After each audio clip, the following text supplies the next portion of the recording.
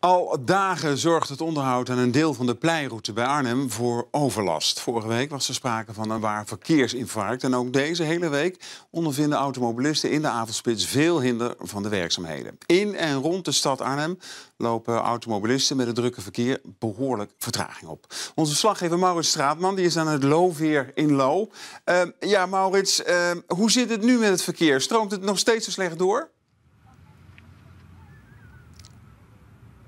Ja, ook vandaag uh, veel files uh, in en rond Arnhem. En hier bij het Looveer, ja, het, je zou kunnen zeggen het is een sluiproute tussen Lo en Huizen. Dat ligt aan de andere kant. En hier is het veel en veel drukker dan normaal. En er kunnen maar 15 auto's uh, tegelijkertijd op dat pontje. Dus het is even wachten. Sommige mensen staan hier al een tijdje. Meneer, mag ik u even iets vragen? Hoe lang staat u hier al in de rij? klein kwartiertje. Kwartiertje, 20 minuten dus.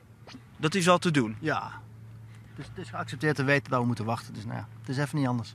Ja, het hoort erbij. Ja, goed. Er zijn ook mensen die uh, gaan uh, dwars door het centrum van uh, Arnhem. En ja, we waren eerder vandaag op de, Johan de Witlaan rond een uur of vier. En toen stond het daar al flink vast. Nou, dat stond het de afgelopen dagen ook al.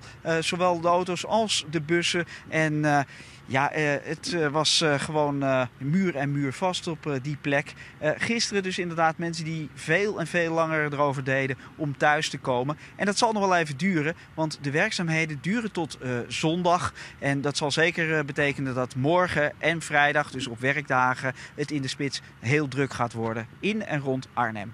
Goed, even doorbijten dus voor het woon-werkverkeer. Maurits Straatman, dankjewel.